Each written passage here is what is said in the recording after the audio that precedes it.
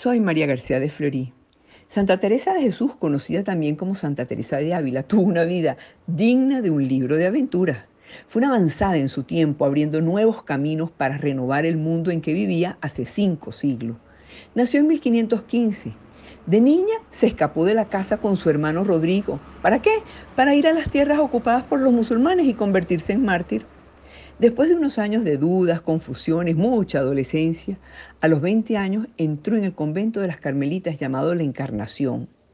A los 40 años fue cuando tuvo su gran conversión. Aquí comenzaron sus visiones místicas y sus grandes escritos. Miren, ser mujer en el siglo XVI era muy duro. Se le prohibía a las mujeres aprender a leer y escribir. Sin embargo, ella aprendió y le enseñó a otras. Escribió una serie de libros, cientos de cartas y poesía, algunos de los cuales se los quemaron. Para defender su obra tanto literaria como misionera, habló con reyes y con la nobleza y fue hasta donde hizo falta para protegerlos. En 1562, el Papa Pío IV le permitió trasladarse al convento de San José en la ciudad de Ávila, pudiendo iniciar la reforma del Carmelo al fundar las Carmelitas Descalzas. En apenas 20 años, Teresa fundó hasta 16 conventos por toda España, a pesar de la incomprensión y persecución de algunos miembros de la Iglesia. Hasta tuvo que presentarse frente al Tribunal de la Inquisición en 1575 para ser juzgada, pero gracias al apoyo del Papa pudo continuar con su obra misionera. Convencida de que Dios eso era lo que quería de ella, Santa Teresa no se dejaba intimidar, seguía adelante, tenía presente que hay que obedecer a Dios por encima de todas las cosas.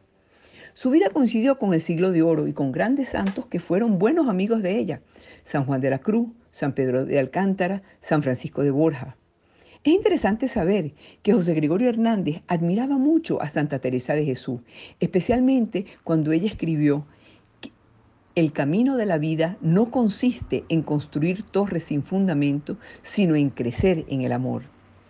La lectura de las cosas de Santa Teresa llevó a José Gregorio a estudiar el tema de la mística y las visiones sobrenaturales de los santos.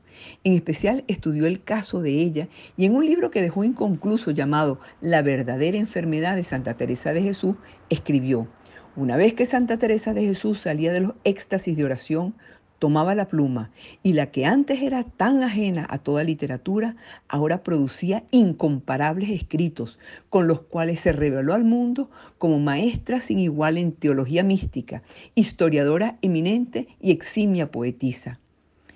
Miren, su alma era tan misionera que Teresa lloró amargamente pensando en la necesidad que había de evangelización en la recién descubierta América, un lugar donde soñaba ir, pero el que nunca pudo conocer.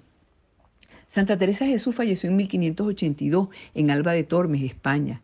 Hizo cosas impensables para una mujer de hace cinco siglos. Impulsó una orden religiosa para mujeres, otra para hombres, abrió numerosos conventos, escribió grandes obras de espiritualidad, renovó la iglesia, fue la primera mujer declarada doctora de la iglesia. Todo lo hizo gracias a su ímpetu y amor a Dios, porque ella sabía que con Dios siempre ganamos.